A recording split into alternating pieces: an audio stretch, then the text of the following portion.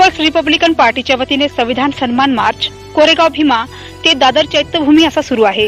गेल्या सव्वीस नोव्हेंबरपासून या मार्चची सुरुवात झाली आहे. मार्च आज संध्याकाळी मुंबईला पोहोचला. घाटकोपर येथील रमाईनगरमध्ये या मार्चचे स्वागत करण्यात आले. पीपल्स रिपब्लिकन पक्षाचे राष्ट्रीय अध्यक्ष जोगेंद्र कवाडे या ठिकाणी उपस्थित होते. संविधान मजबूत करण्यासाठी आणि जे बदलण्याची भाषा करत आहेत त्यांना आंबेडकरी जनताच नव्हे तर देशातील जनता विरोध करेल. असे प्राध्यापक जोगेंद्र कवाडे म्हणाले आपल्या भाषणात त्यांनी केंद्र सरकार आणि राज्य सरकारवर टीका करून सहा डिसेंबरला चैत्यभूमीवर संविधानाचं संरक्षण करण्यासाठी उपस्थित भीमसैनिकांना शपथ देण्यात येणार आहे असे सांगितले. आपल्या भाषणात त्यांनी केंद्र सरकार आणि राज्य सरकारवर टीका करून सहा डिसेंबरला चैत्यभूमीवर संविधानाचं संरक्षण करण्याची उपस्थित भीमसैनिकांना शपथ देणार असल्याचे त्यांनी सांगितले.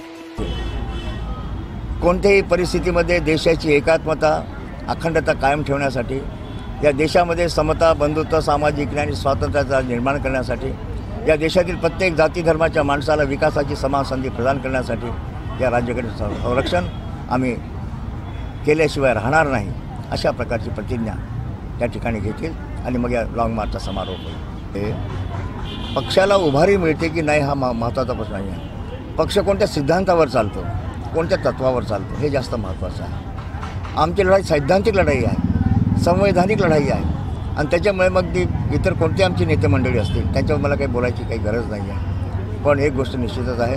आता हे बघा सव्वीस नोव्हेंबर संविधान दिवस भारत सरकारने संपन्न देशभर संपन्न केला. राज्य सरकारने देखील प्रत्येक गावागावात अशा प्रकारच्या मिरवणुका निघाल्या दिवस साजरा करण्यात आला. पण आगळं वेगळं अशा प्रकारचं महत्त्व या संविधान सन्मान लॉंग याकरता आहे. लोकांनी आपल्या गावागावात मिरवणुका काढल्या संविधान दि दिनाचं निमित्त साधून.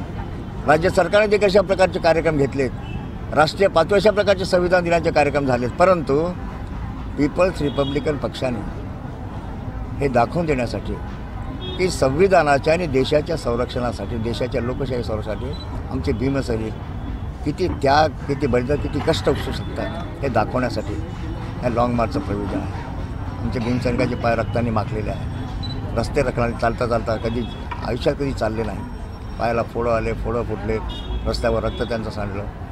हे दाखवून देण्यासाठी की कोणत्याही स्तराला जाऊन प्राणाचं मोल द्यावं लागलं तरी त्या रक्ताचं दान द्यावं लागलं चालेल. पण या देशाच्या लोकशाहीचं या देशाच्या मानवी मूल्यांचं या देशाच्या धर्मनिरपेक्ष तत्वांचं या देशाच्या एकात्मतेचं रक्षण करण्यासाठी आम्ही कोणत्याही प्रकारचं बलिदान द्यायला तयार आहोत. ही जाणीव देशात निर्माण करण्यासाठी हा भाई जयदीप कवाड यांच्या नेतृत्वामध्ये झालेला